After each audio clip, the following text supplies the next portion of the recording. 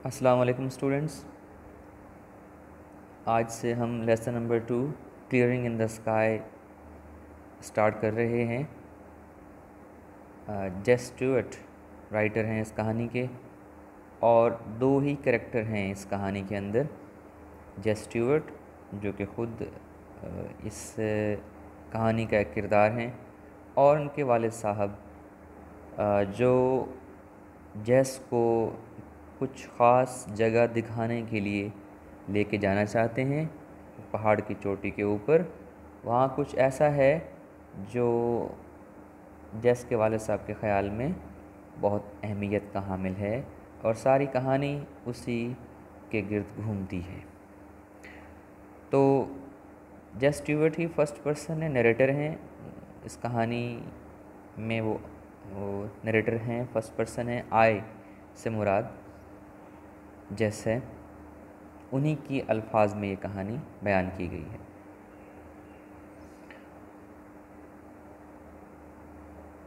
This is the way Jess Jess यही वो रास्ता है सेड माई फादर मेरे वाले साहब कहने लगे पॉइंटिंग इशारा करते हुए विद इज़ कैन अपनी छड़ी या आसा जो हाथों में पकड़ के चलते हैं आम तौर पर।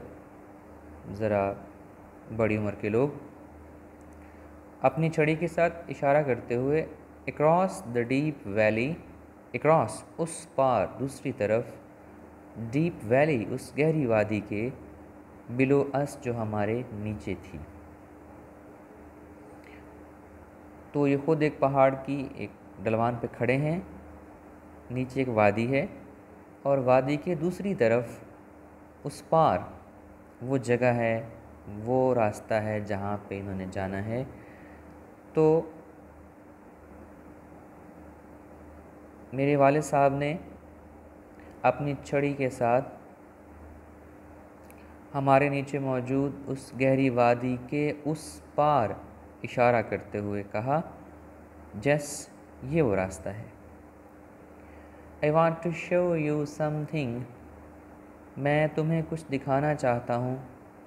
यू हैव नॉट सीन जो कि आपने नहीं देखा हुआ फॉर मैनी ईयर्स कई सालों से। मैं तुम्हें ऐसा कुछ दिखाना चाहता हूँ, जो तुमने कई सालों से नहीं देखा है।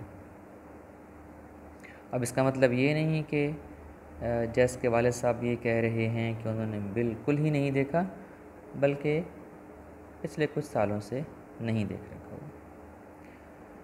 Isn't it too hot for you to do much walking? क्या इतनी शदीद गर्मी में आप इतना ज़्यादा पैदल चल पाएँगे? तो बेटे का पॉइंट ऑफ़ व्यू ये है कि आप की उम्र भी ज़्यादा है और गर्मी भी बहुत ज़्यादा है।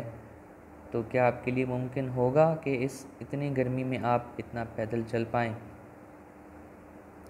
I wipe the streams of sweat wipe साफ़ करना। पानी वगैरह या कुछ ऐसी चीज़ साफ़ करना। वाइपर्स जैसे होते हैं घरों में। स्ट्रीम्स वैसे तो नदी नाले होते हैं, पानी का धारा होता है, लेकिन स्ट्रीम्स ऑफ़ स्वेट पसीने को कहते हैं। पसीने की तो लकीरें कह लीजिए। फ्रॉम माई फेस अपने चेहरे से टू कीप देम फ्रॉम ताकि उन्हें रोक सकूँ, बचा सकूँ। फ्रॉम स्टिंगिंग जलन पैदा करने से स्टिंग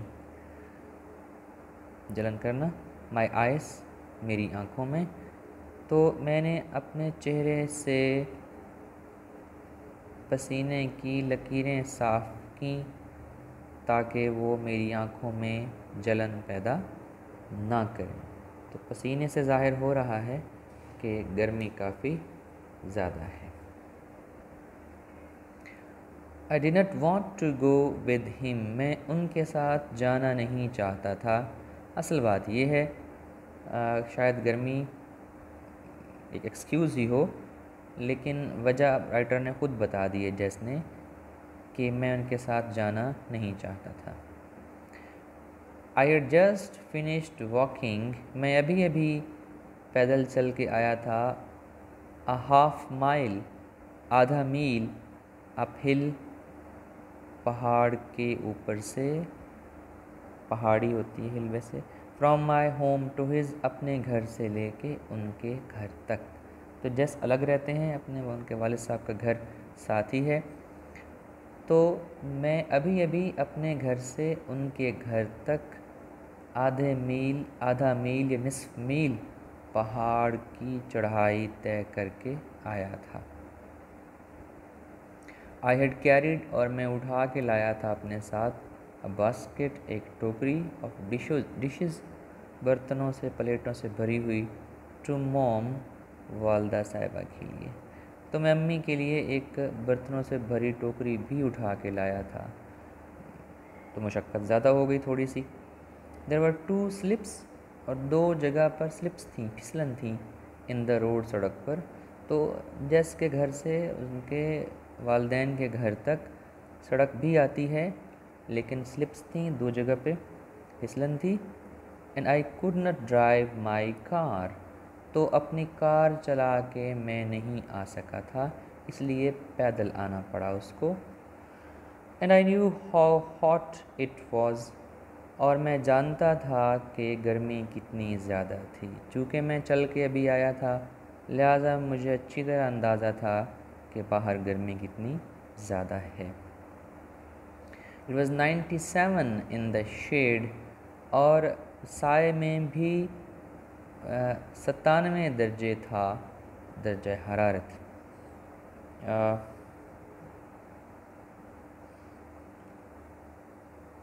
तो ये कोई इतना ज़्यादा तो नहीं है हमारे कॉन्टेक्स्ट में देखा जाए हमारे इलाके के अतबार से, लेकिन जिन इलाकों में गर्मी कम पड़ती है, वहाँ उनके लिए इतना भी बर्दाश्त करना शायद बहुत ज़्यादा हो। तो साय में गर्मी की शिद्दत सतानवे दर्जे थी।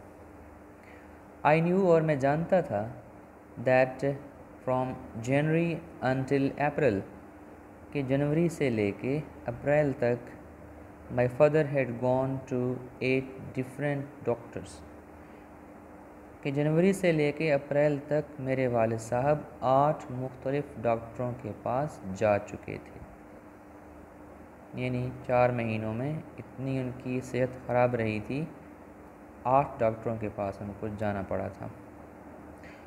वन ऑफ़ द डॉक्टर्स उन डॉक्टरों में से एक ने वन ऑफ़ के आगे हम जो नाउन इस्तेमाल करते हैं, वो जमा ही होता है, बहुत सारों में से एक। तो वन ऑफ़ द डॉक्टर्स होगा।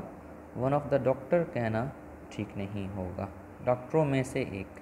लेकिन इसके आगे वर्ब जो है, वो सिंगुलर या वाहिद देख कर लगाया जाएगा, क्योंकि उन डॉक्टरों में से एक की बात की जा रही है। मिसाल के तौर पे one of the students is absent तो स्टूडेंट्स हैं, लेकिन हम इज़ लगा रहे हैं, चूँकि उनमें से एक की बात हो रही। तो उन डॉक्टरों में से एक ने हैड टोल्ड हिम उनसे कहा था नॉट टू वॉक कि आप पैदल बिल्कुल ना चलें।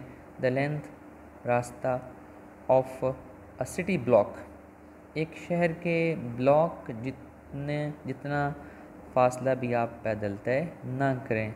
ब्लॉक जैसे वार्ड्स या महल्ले बाद शहरों में होते हैं तो बाद शहरों में ब्लॉक होते हैं। यानी आप बिल्कुल भी पैदल ना चलें। आपकी सेहत इस बात की इजाज़त नहीं देती है। He told my father to get a taxi तो डॉक्टर साहब ने मेरे वालिद से, साहब से टैक्सी लेने के लिए कहा टू टेक हिम होम और टैक्सी लेके घर जाने के लिए कहा। यानी आप घर पैदल ना जाएँ, बल्कि टैक्सी लेके जाएँ। But my father walked home लेकिन मेरे वालिद साहब पैदल चलते हुए घर आए। फाइव माइल्स और पाँच मील पाँच मील काफ़ी ज़्यादा सफ़र फासला है। और इसको किलोमीटर्स में किया जाए तब्दील तो ये कोई गालिबा आठ किलोमीटर बनता है। और ये पाँच मील भी मैदानी इलाके के नहीं हैं।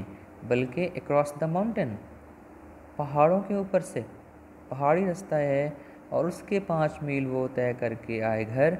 एंड टोल्ड मोम और आके अम्मी को बताया what the doctor had said कि डॉक्टर क्या कह रहे थे। तो मेरे वाले साहब, पहाड़ के ऊपर से पाँच मील का फासला पैदल तय करके घर आए और आके बताया कि डॉक्टर ने क्या कहा है।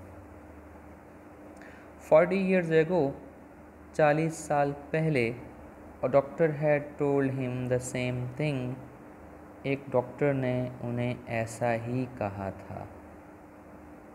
ऐसा ही मशवरा दिया था। तो मतलब वो चालीस साल पहले भी इतना ही शदीद बीमार रहे थे। एंड ही हैड लिव्ड और ज़िंदा रहे थे वो to raise a family raise किसी चीज़ को ऊपर उठाना होता है। राइज़ और रेज़ का फ़र्क भी नोट कीजिए। राइज़ खुद उठना होता है, ऊपर उठना। द वेव्स वर राइजिंग लहरें उठ रही थी। The sun rises in the east सूरज उठता है, तुलू होता है, ऊपर आता है। लेकिन रेज का मतलब है किसी और चीज़ को ऊपर उठाना। The wind was raising waves in the sea raise हवा उठा रही थी, बुलंद कर रही थी लहरों को। तो रेज ऊपर उठाना और पालना और परवरिश करना के मानों में भी इस्तेमाल होता है। फ़सलों को, बच्चों को ऊपर लाना तो इस मानों में भी ये इस्तेमाल हो रहा है। तो वो ज़िंदा रहे थे पालने के लिए, परवरिश करने के लिए। A family of five children पाँच बच्चों पर मुश्तमिल ख़ानदान को पालने, पोसने के लिए, उनकी कफालत परवरिश करने के लिए ज़िंदा रहे थे। He had done as much hard work उन्होंने इतनी मेहनत की थी इन दोज ईयर्स उन सालों में एज एनी मैन जितना कि कोई शख्स कर सकता है। बीमार थे, सेहत अच्छी नहीं है, लेकिन फिर भी उन्होंने जितना कोई कर सकता है, उतनी मेहनत की थी। तो इस पैराग्राफ में जैस वजह बता रहा है कि वो क्यों नहीं जाना चाह रहा अपने वाले साहब को साथ लेके। गर्मी ज़्यादा है, इसका खुद वो तजर्बा करके आया है अभी। लेकिन असल बात यह है कि उसे पता है कि उसके वाले साहब की सेहत इस बात की इजाज़त नहीं देती कि वो इतनी गर्मी में इतना ज़्यादा पैदल चल सकें। I could not protest to him now protest एहतजाज करना, मुखालफत करना ऑब्जेक्ट टू समथिंग डिसएग्री करना। अब मैं उनसे एहतजाज भी नहीं कर सकता था। He had made up his mind make up one's mind होता है, फैसला कर लेना, ठान लेना। उन्होंने इरादा कर लिया था। When he made up his mind और जब वो ठान लेते थे, इरादा कर लेते थे टू डू अ थिंग कोई भी काम करने का ही वुड डू इट तो उसे वो कर गुज़रना चाहते थे, उसे कर गुज़रते थे। इफ़ चाहे he had to crawl crawl वैसे कोनियों और घुटनों के बल पर चलना होता है। तो यहाँ, इस मानों में इस्तेमाल किया गया है कि चाहे उसके लिए उन्हें कितनी तकलीफ़ और मशक्क़त ही क्यों ना बर्दाश्त करनी पड़े। तो जब वो कोई काम करने का फ़ैसला कर लेते थे, किसी काम करने की दिल में ठान लेते थे तो वो उसे कर के रहते थे, वो उसे कर गुज़रते थे, चाहे उसके लिए उन्हें बहुत ज़्यादा मशक्क़त ही बर्दाश्त क्यों ना करनी पड़े। डिड नॉट केयर वो फिर बिल्कुल परवाह नहीं करते थे। If it was ninety seven in the shade के दर्ज हरारत सतानवे दर्जे है, साय में भी और सिक्सटीन बिलो ज़ीरो या सिफर से सोलह दर्जे नीचे। तो ज़ीरो नुक्ता इंजमाद है, उससे सोलह दर्जे नीचे, यानी मनफी में है। तो सतानवे दर्जे है साय में, यानी बहुत ज़्यादा गर्मी ही, क्यों नहीं? और सिफर से सोलह दर्जे नीचे, मनफी सोलह, यानी चाहे सर्दी ही क्यों ज़्यादा, इतनी ज़्यादा क्यों नहीं? इस बात की वो बिल्कुल भी कोई परवाह नहीं करते थे। तो फिर वो इस बात की परवाह नहीं करते थे कि साय में दर्ज हरारत सतानवे दर्जे है या सिफर से सोलह दर्जे नीचे है। आई वाइप मोर स्वेट मैंने और पसीना साफ़ किया, मज़ीद पसीना साफ़ किया।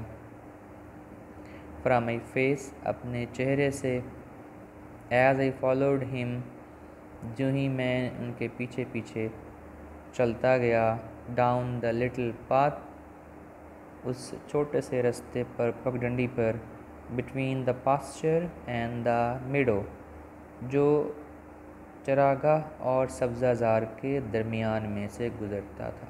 तो पहले वो नीचे आ रहे हैं और ये छोटा सा रास्ता पगडंडी से गुज़रती है। उसके एक तरफ़ पास्चर है चरागाह जो गाँव के लोगों के मवेशी वगैरह चराने के लिए एक टुकड़ा यकता मखसूस किया गया है। और दूसरी तरफ़ मेडो है, सब्ज़ाजार है कुदरती घास का कुदरती मैदान है। उन दोनों के दरमियान में से नीचे, पगडंडी पर नीचे की तरफ़ उनके पीछे पीछे चलते हुए मैंने अपने चेहरे से मज़ीद पसीना साफ़ किया। तो एक और बात काबिल गौर है स्टूडेंट्स अगर आप देखें, पिछले पैराग्राफ में हमने तर्जमा किया इस फ़िक्रे का कि मेरे वाले साहब पहाड़ी, पहाड़ के ऊपर से पाँच मील पैदल चलते हुए घर आए और आके अम्मी को बताया कि डॉक्टर ने क्या कहा है। तो लिखा हुआ है word the doctor had said had said past perfect है। माजी में जब कोई काम मुकम्मल हो चुका हो। लेकिन उर्दू तर्जमा हम ये कर रहे हैं कि डॉक्टर ने क्या कहा है? तो ये थोड़ा सा फ़र्क होता है। उर्दू में हम जब बात माजी से शुरू करें तो उसको आप हाल में ख़त्म कर सकते हैं। इसका रिवाज बिल्कुल है। आ, जैसे आप कह सकते हैं उसने मुझे बताया कि वो बीमार है। तो बताया पास्ट है, माजी है, और उसके आगे हम हाल में तर्जुमा कर रहे हैं, प्रेजेंट में, कि बताया और बीमार है। तो उर्दू ज़ुबान के रू से ये बिल्कुल दुरुस्त तर्जमा फ़िक्रा है। लेकिन इंग्लिश में मसला आप समझते हैं जब पास्ट आप यूज़ कर लेते हैं तो उसके आगे आप फिर पास्ट ही इस्तेमाल कर सकते हैं दूसरी क्लास के अंदर। तो उधर आपको कहना पड़ेगा he told me that he was ill told चुके पास्ट है तो दैट के बाद भी आप आ, को पास्ट ही यूज़ करना पड़ेगा। तो अगर आप इंग्लिश में कहेंगे he told me that he is ill तो ये ठीक नहीं होगा। पास्ट के आगे पास्ट ठीक तो लेकिन इसका उर्दू तर्जमा आप यही करेंगे उसने मुझे बताया कि वो बीमार है। उर्दू में ये बिल्कुल ठीक किया जाएगा। तो आज के लिए इतना ही। See you tomorrow and have a nice day